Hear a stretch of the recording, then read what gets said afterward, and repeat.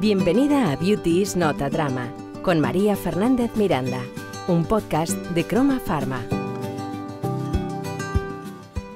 Para todo el mundo, Maribel Verdú es una reconocida actriz, protagonista de películas tan emblemáticas como Y tu mamá también, Belle Époque, La estanquera de Vallecas o El laberinto del fauno. Para quienes la conocemos de cerca, Maribel es además una amiga generosa, una eterna disfrutona y una coleccionista de libros y de cremas. La hemos invitado al podcast para hablar sobre nostalgia y futuro, sobre miedos, amistad, alegría y también acerca de cómo se consigue estar tan guapa después de cumplir los 50. Maribel Verdú, querida Bel, bienvenida al podcast. Muchas gracias, amiga. Mira, la primera vez que te entrevisté no nos conocíamos y te confieso que esta vez preparar la entrevista para mí ha sido mucho más difícil porque, claro, yo ahora te considero una amiga, entonces no soy neutral contigo, yo me considero maribelista. Tú sabes que me acuerdo perfectamente de ese día. O sea, la primera vez que te vi enfrente de mi casa, ¿te acuerdas? Sí. En el café, en la terracita. La casa donde vivías antes. Sí, sí. Sí, pues ahí nos eh, conocimos y ahí empezó una amistad porque, para quien no lo sepa, Maribel Verdú, eso yo lo decía en la intro y es verdad que si te tuviera que definir con una palabra sería generosa, porque yo lo he vivido en carne propia, me has ayudado mucho con mis libros, viniendo aquí al podcast, que has buscado un hueco, pero me consta que lo haces con todo el mundo. ¿De, de dónde te viene esa vocación de, de estar siempre disponible, de ayudar a los demás? No, no, no, con todo el mundo no lo hago. con mucha gente, yo, hago, o yo sea, te he visto yo- ayudar a mucha gente. Sí, pero vamos a ver, so- soy generosa de por sí, porque me, me parece que si, que si puedes dar y, y, bueno, pues sobre todo, a ver, a la gente que quieres, ¿sabes? A tus amigos. Yo, mm, para mí la amistad es algo valiosísimo, casi lo que más. Y entonces, porque, porque en la amistad hay amor dentro, ¿no? Mucho amor. Y yo soy de las que doy, doy, doy, doy mucho. Y, y, hombre, siempre esperas que sea recíproco. A ver, tampoco vas a dar en- mm, para que caigan en saco roto. O sea, normalmente suele ser recíproco. Entonces, eh, si, si yo te doy, tú me das mm, y nos queremos, pues joder, es que, ¿por qué vas a hacer otra cosa, no? Y es verdad que siempre piensas, ¿qué te gustaría que hicieran? ¿No? ¿Te gustaría que hicieran esto? Pero hombre, hay muchísima gente ahora, por ejemplo, con las redes. Tú sabes la gente que pide, pide, pide, pide, pide, pide. Yo no doy a nadie. O aquí, porque, porque no puedes, porque es que además tienes un trabajo y tienes una vida. No te puedes dedicar, o sea, eh, yo siempre, bueno, no leo privados, porque para mí eso es como si tuvieran mi teléfono, mi WhatsApp. Y no los leo, yo tengo una cosa ahí que, que directamente no entro. Pero en la bio, por ejemplo, eh, está el- el- el- el teléfono o el mail de Trini. Entonces, cada día son mails y mails de peticiones. Tú no puedes hacer todo eso, por eso te digo, no cuando vea esto la gente, ay, que, va, que hace todo, no, no, no, no, no.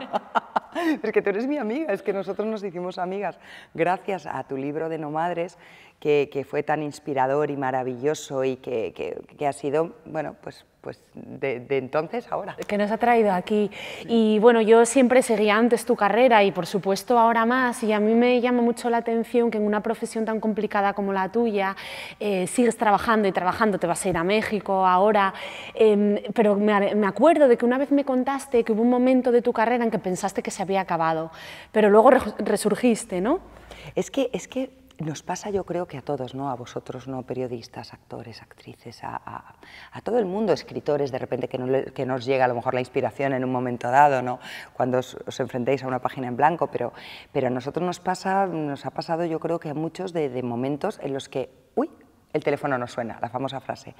Y en mi caso fue, fue increíble porque fue a raíz de Y tu mamá también, que fue una película así como ah, mítica y mm, o sea, de éxito mundial, tal, tal, y de repente, tía, todo lo que me ofrecen eran cosas americanadas de estas que yo a veces digo, ¿cómo no las aproveché? Pero bueno, da igual, en su momento no, decidí no hacerlo y mm, dos años y medio que era, o sea, cuando me llamaban era para cosas, o esas que te digo, o aquí unas, pero súper cutres y chungas, y yo digo, "Buah, fíjate la vida. Y luego llegó otro mexicano, eh, que es Guillermo del Toro, para volver a, a- Y yo creo que después del laberinto ya sí que ha sido pa, pa, pa, pa, no parar. Y cada año pienso, será el último, será el último, será el último, eres mujer, cumples años, en fin, ya sabes las cosas estas, y, y todavía no es el último. No, no es el Este año ya lo tengo repletito. Lo de tiene- trabajo, ya sí, sí, es, es, es impresionante la de, la de trabajo que, que tienes, que, que- que me vas contando y, y es espectacular. Pero ¿qué pasaría si dejaran de llamarte? Pues mira, si yo tuviera el suficiente dinero en el banco para vivir de aquí a que me muera, que tengo previsto morirme como con 95 o 100, no pasa nada si yo no trabajo. Yo no sabes lo feliz que soy en mi vida haciendo mis cosas. O sea, no tengo esa necesidad de trabajar. Adoro mi trabajo, me gusta mi trabajo, pero es verdad, yo tengo muchísimos compañeros que si no están rodando, no están trabajando, no saben qué hacer con su vida, se mueren. O sea, yo no. Uy, tú no sabes mi día a día, lo, lo rico que es si estoy sin trabajar. Me encanta, de hecho, pero vivo de mi trabajo. Me gusta además mi trabajo, es absolutamente vocacional y, y disfruto, pero pero ya te digo, si hubiera, no me preocuparía en absoluto, pero uno tiene que trabajar. Sí, tiene que trabajar y uno de tus últimos proyectos es Now and Then, una serie que se está emitiendo en, en, Apple TV. No voy a hacer spoiler, pero sí que voy a contar que en el primer episodio se ve a un grupo de universitarios ¿no? celebrando que se han eh, licenciado y se hacen eso entre ellos esa típica pregunta de ¿y tú dónde te ves dentro de 20 años? A mí me, produce nostalgia pensar en esa edad en la que todas las puertas estaban aún abiertas. ¿A ti te pasa eso? No. No. ¿A ti se te han cumplido todos tus sueños Pero, ¿sabes por qué no, tengo nostalgia? Porque yo soy muy, muy poco nostálgica para empezar, muy poco sentimental, curiosamente. O sea, ahondo poco en el pasado, o sea, hurgo poco en la mochila, digamos, del pasado.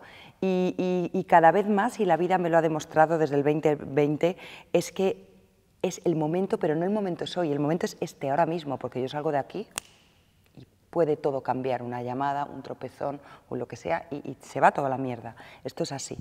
Em, entonces, creo que todo ha excedido mis posibles sueños, mis, mis posibles deseos, mis... yo creo que, que jamás me pude imaginar esto.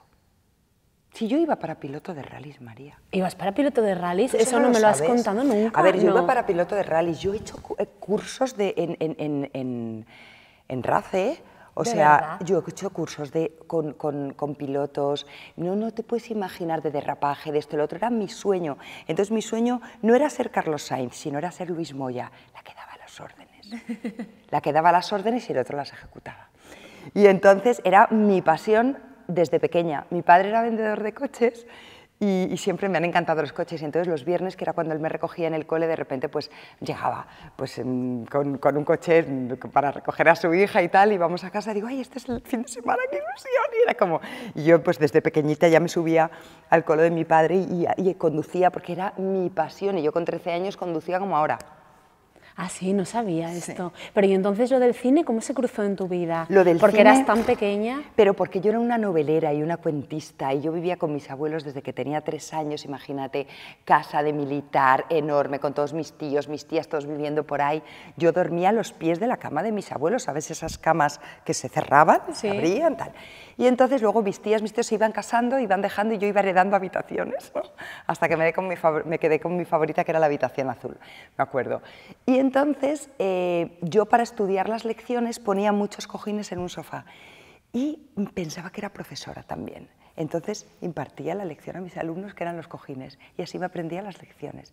Entonces siempre he sido buenísima en geografía, historia, literatura, en todo lo que tenía que ver con memoria y estudiar y malísima en matemáticas, física, química, o sea, un desastre. Igual que yo. Pero un desastre a nivel preocupante, que yo debo tener alguna tara, algo ahí desenganchadito porque no es normal.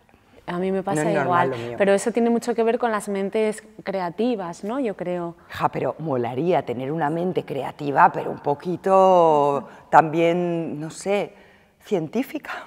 Sí, sí. ¿No? Bueno, o sea que de piloto de rallies, que eso no lo sabía, a actriz eh, consagrada, eh, Maribel, en, esta serie Now también hay una idea que sobrevuela este thriller y es esa idea de las personas que fueron importantes en un momento de nuestras vidas.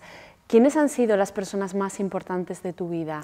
Pues mira, te voy a hablar de dos personas que han sido muy importantes y que ya no están, porque hay tantas que están importantes en mi vida. Y, fueron mi abuela, la abuela materna, que es con quien yo viví, y Ricardo Franco, el director de, La, Buena, Estrella. Yo creo que han sido, sí, dos personas de las que me acuerdo mucho y, que han, han marcado mucho mi vida, mucho, mucho. ¿Cómo se llamaba tu abuela? como mi madre y como yo, Isabel, María Isabel. María Somos Isabel. tres María Isabeles. ¿Y qué te dejó tu abuela para que todavía la recuerdes? ¿Qué fue la, la lección más importante que te transmitió? No es una concreta, sino decir que lo importante al final da igual, que seas lo que seas, pero que seas buena persona, tío. Sea, buena persona y dormir con la conciencia tranquila. De decir, bueno, yo he hecho lo que he podido para hacer la vida fácil, cómoda y agradable a los demás. ¿Sabes lo que te digo? Y no putear a la gente, y no ir con maldades y con tejemanejes y con, con, con, con meter mierda y que dices, qué miedo me da eso. Me da tanto miedo esa gente que, que, no sabe si de repente se va a inventar una historia y puede contar y dices, no, no, no, yo quiero gente clara, gente clara, por favor, gente que yo vea, mira, esto es lo que hay y ya está. Y te puede caer mejor, peor, pero sabes que, que, detrás no va a contar ninguna historia ni nada. Me da mucho miedo la gente meticona. Y mi abuelo era una persona tan buena, era tan buena. 16 hijos. Tú. 16 hijos. ¿Tú te imaginas esa mujer? Y era buena, era muy buena, muy buena gente. Y Ricardo Franco, Maribel, porque tú has trabajado con muchísimos directores, eh, has, has, estado con los mejores, eh, tienes un montón de, de, películas que yo ya me pierdo con tu filmografía, pero ¿por qué La Buena Estrella y por qué Ricardo Franco son tan especiales? Pero te cuento, no es La Buena Estrella.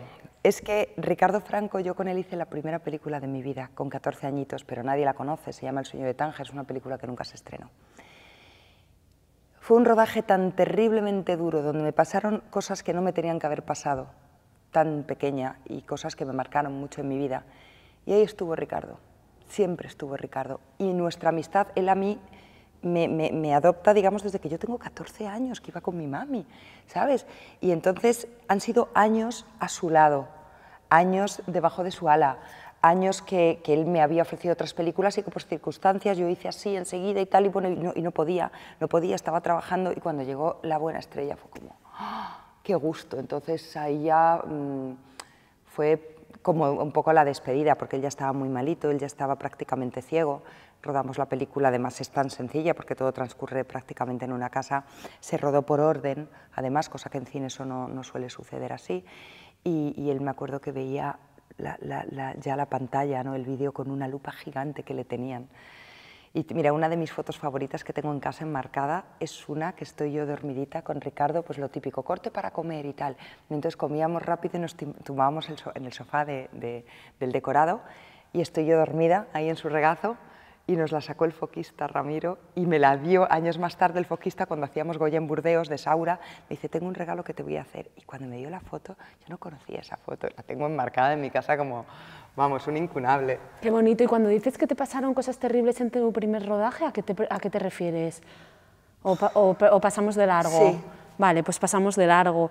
En cualquier caso, volviendo un poco a eso de la idea del pasado, ¿tú estás totalmente reconciliada con tu pasado? Si volvieras atrás, ¿cambiarías algunas cosas? Esta pregunta que siempre nos hacemos, ¿no? Si pudiera volver atrás, ¿lo haría todo igual? No. Es que eso de, no, yo lo dejaba todo como está. Pues yo no, yo cambiaba cosas. Cambiaba cosas. No te voy a decir cuáles, obviamente, porque son cosas a lo mejor íntimas, pero yo cambiaba cosas, sí. Hay cosas que a lo mejor hubiera hecho de otra manera, pero que, que quizá, claro, o sea, la experiencia que te da la madurez, si tienes una cabeza en, su sitio y sabes realmente sacar aprendizaje de la vida y de las cosas, es que es una cosa que yo no me cambio por una de 20 ni de 30, eh, jamás. También te digo, me quedaba de los 40 a los 45 en esa franja. O sea, de los 40 a los 45 me parece la edad. Y ya está.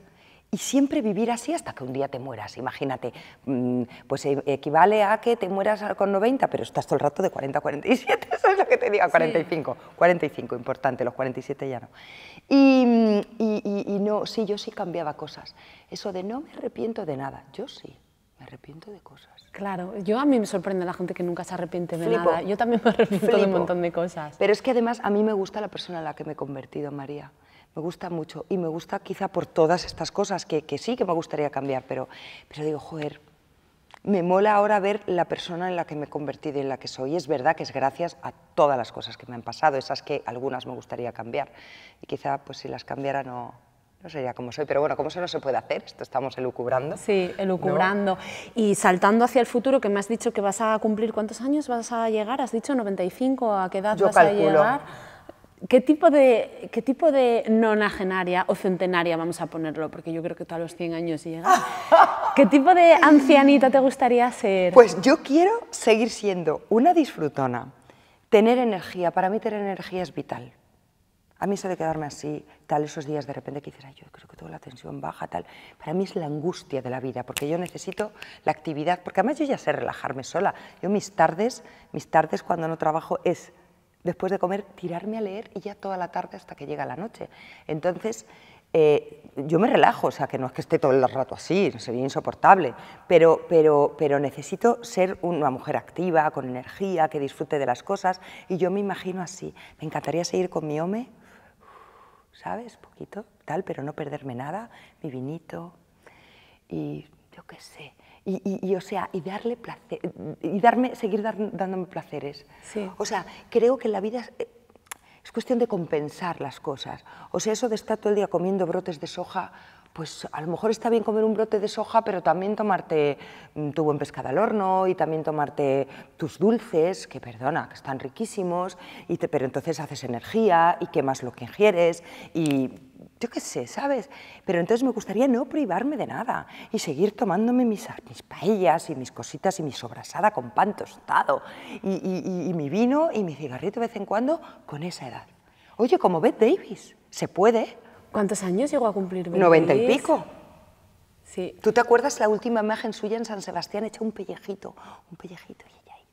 No, no me acuerdo. Hoy, pues es, búscala luego porque es grandioso. Luego la buscaremos y te voy a hacer una pregunta nada original, que es cómo se llega a estar tan bien a los 51 años. Tienes, ¿no? 51. Sí, 52 cumpliré el 2 de octubre. Pues hija, bebiendo vino, fumando, sin parar de reír, sin parar de reír. Eh, disfrutando de la vida con una genética que debe también mm, ser importante. Y también te digo, cuidándome mucho, sí. porque yo me cuido mucho. O sea, eso que te digo, yo compenso mogollón las cositas malas que pueda hacer, tú me entiendes, y compenso mucho. Y sobre todo creo que el ser humano está para moverse, necesitamos movernos. Yo traigo esto aquí porque, en fin, voy a hacer una entrevista contigo y quiero estar así, cookie igual pero yo voy con playeras a todas partes, yo voy andando a todas partes, tú lo sabes. Entonces yo antes de salir de casa tengo que ir a tal, a ver cuánto es desde mi casa aquí, 58 minutos. Pues yo salgo una hora antes y voy andando, pero no andando, paseando, no. Entonces, eh, creo que, eso me mantiene viva, viva y muy bien, porque yo tengo los huesitos jorobadillos y si yo no me moviera como me, mueva y, eh, como me muevo y hago el ejercicio que hago, yo estaría bastante chunguita. Haces yoga también, Maribel. Eso hace años, pero es que no me viene realmente bien para cómo estoy, digamos, ¿no? Porque por dentro estoy un poco peor que estoy por fuera. Pero da igual porque, porque ya te digo, me muevo, me muevo y me muevo. Y, las lesiones me olvido de ellas y, las, eh, pues eso, las movilizo. Y te dicen, no hagas esto y no hagas esto, me da igual, no hago caso, no hago caso.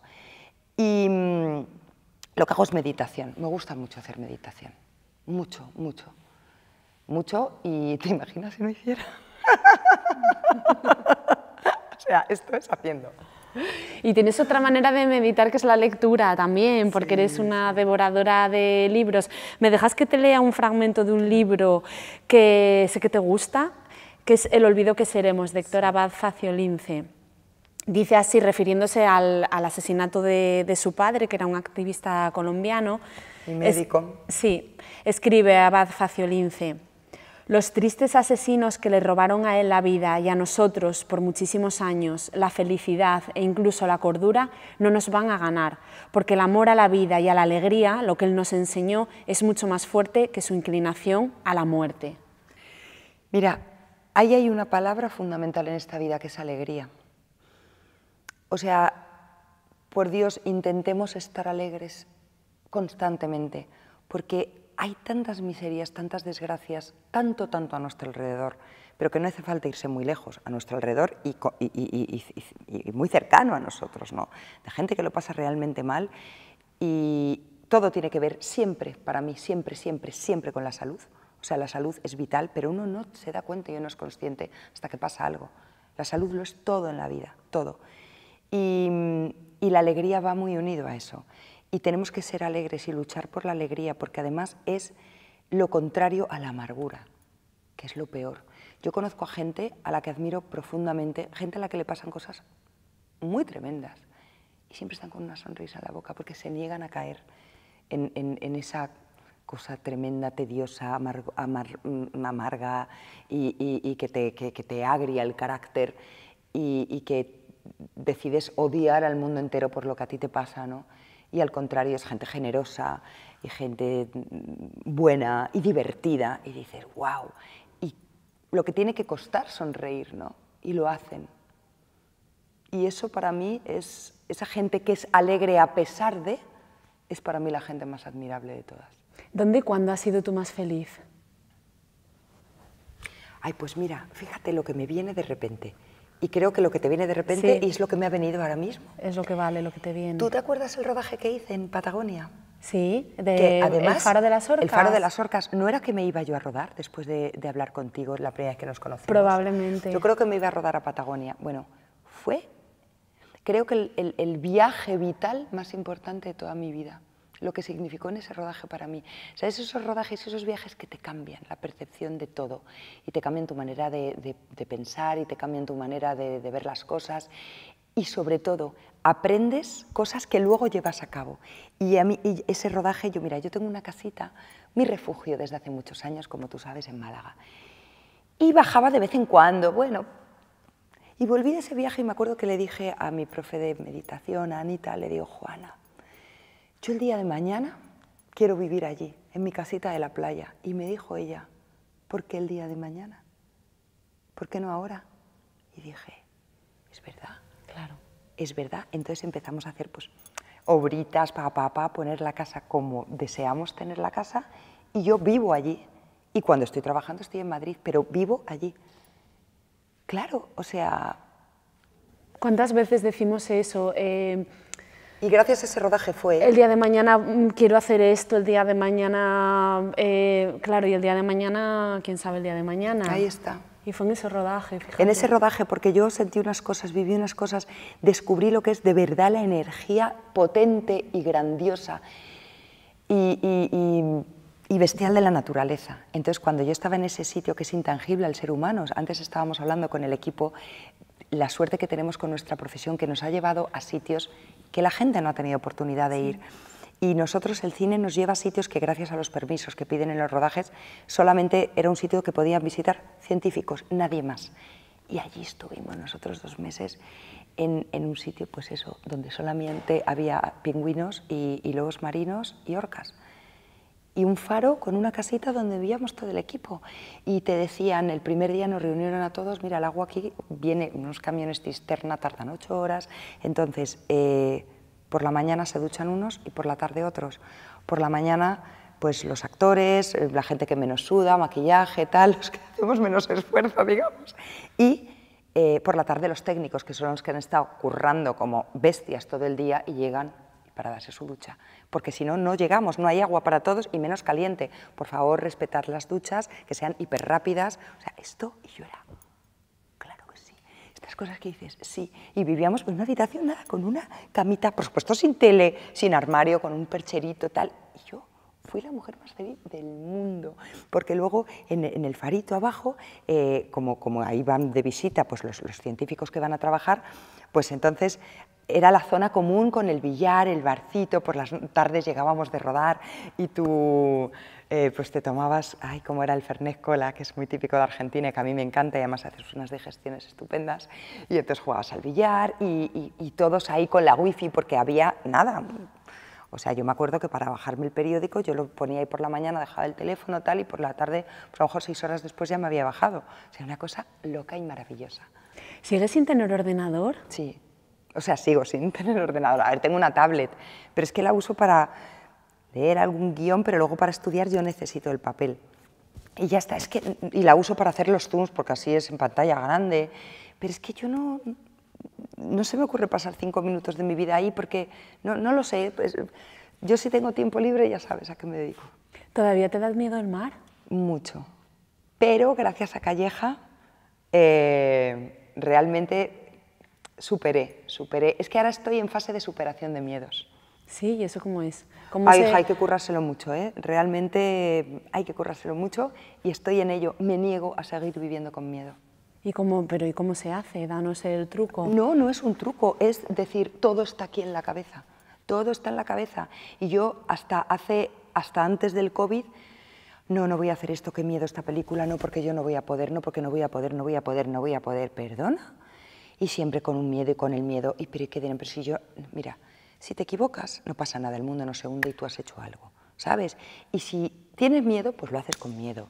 Y todo esto me está sirviendo de tanto y si una, eso, esto que te digo, que me mola la mujer en la que me estoy convirtiendo y esta mujer sin miedos me mola mucho. Y de verdad que, que- que yo no soy nadie para decir esto, pero que la gente se quite los miedos de la cabeza porque son paralizantes, no sirven para nada. Otra cosa es ese miedo que te pone, ese miedo de guau. La adrenalina. Eso es otra cosa, ¿sabes? Pero es un, un miedo necesario, sano. Pero el miedo paralizante es una mierda una mierda. Y yo he dicho tantas cosas que no por no atreverme, por no atreverme. Pero ¿qué pasa? Y si de repente no estoy bien en una cosa o tal, da igual, no pasa nada, la vida sigue. No salvo vidas, ¿sabes lo que te digo? O sea, chico. Sí, es sorprendente también eso que con la carrera que tienes eh, hay veces que te ha dado miedo enfrentarte a proyectos profesionales, ¿no? ¿Eso es porque eres muy, muy autoexigente?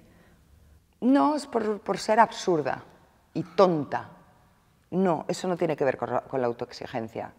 O sea, porque mm, quiero decir, eso es una cosa que siempre he tenido hace muchos años, Clara. Mira, el perfeccionismo, o sea, la perfección no existe. Y esas personas que son hiperperfeccionistas son insoportables. Insoportables. Primero, ellas, para ellas es, es- una pesadilla vivir en ellos mismos. Y para los demás, que nos lo comemos, dices, mira, yo me niego. Entonces es, yo hago lo mejor que puedo las cosas, lo mejor que puedo, pero me niego a ser perfeccionista porque no existe, porque es imposible. Entonces nos vamos a amargar la existencia buscando la perfección todo el tiempo. Entonces por eso sé que no es por autoexigencia, porque yo no, no me... No, No te no, fustigas. en absoluto. ¿Cuándo vas a escribir un libro con todos esos apuntes que guardas de tus rodajes? Ay, me voy a llevar ahora, mis hermanas siempre me regalan cuadernos para cuando viajo. Eh, ahora voy a escribir un diario en este rodaje nuevo de México, que hago, por cierto, con, con- con Manolo Cardona, otro de los protas de Now and Then, que me encantaría que la vierais, porque es que está en Apple TV y son ocho capítulos y es que mola mucho la serie y estoy feliz. Es o sea, una serie que engancha, Es ¿eh? una cosa loca. Y, y ahora voy a escribir el diario que voy a llevar, lo voy a escribir de otra manera. Lo voy a escribir escribiéndome a mí, ¿Cómo? ¿Cómo escribiéndote a ti? de mí a mí misma. Ah, te vas a dirigir a ti misma. Sí, de mí a mí misma. En vez de, eh, o sea, va a ser querida Maribel. O querida Bel, va a ser querida Bel.